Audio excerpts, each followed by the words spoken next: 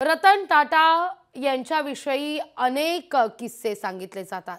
उद्योग क्षेत्रात असलेली त्यांची उल्लेखनीय कामगिरी श्वानांप्रती असलेलं त्यांचं प्रेम इतकंच नाही तर सच्चा या कर्मचाऱ्याकरता सच्चा मित्राप प्रती रतन टाटा यांची असलेली भावना ही नेमकी काय होती?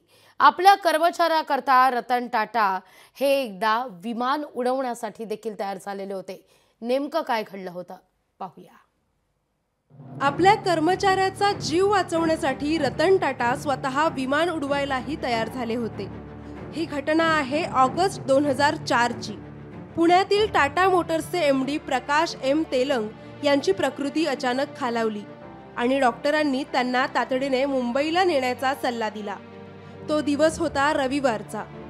यामुळे डॉक्टरांना एअर ॲम्ब्युलन्सची व्यवस्था करणं शक्य होत नव्हतं. या संदर्भात जेव्हा रतन टाटा यांना समजलं तेव्हा ते कंपनीचं विमान उडवायला तयार झाले. रतन टाटा यांच्याकडे पायलटचं लायसन्स होतं. मात्र एवढ्यात एअर ॲम्ब्युलन्सची व्यवस्था झाली आणि प्रकाश यांना मुंबईतील ब्रिज कँडी रुग्णालयात हलवण्यात आलं. तेथे त्यांच्यावर यशस्वी उपचार झाले. ते जवळपास पन्नास वर्ष टाटा मोटर्समध्ये कार्यरत होते आणि दोन हजार बारामध्ये ते निवृत्त झाले. रतन टाटा हे एक प्रशिक्षित पायलट होते. त्यांच्याकडे विमान उडवण्याचा परवाना होता. त्यांच्याकडे एक प्रायव्हेट जेटही होतं ज्याची किंमत सुमारे एकशे पन्नास कोटी रुपये एवढी आहे. काही वर्षांपूर्वी त्यांचा एक फोटो सोशल मीडियावर व्हायरल झाला होता ज्यात ते एका फायटर प्लेनच्या कॉकपीटमध्ये दिसले होते.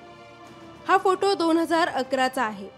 तेव्हा त्यांनी बंगळुरू येथील एअर शोमध्ये बोईंगच्या एफ एटीन सुपर हॉर्नेट विमानातून उड्डाण केलं होतं.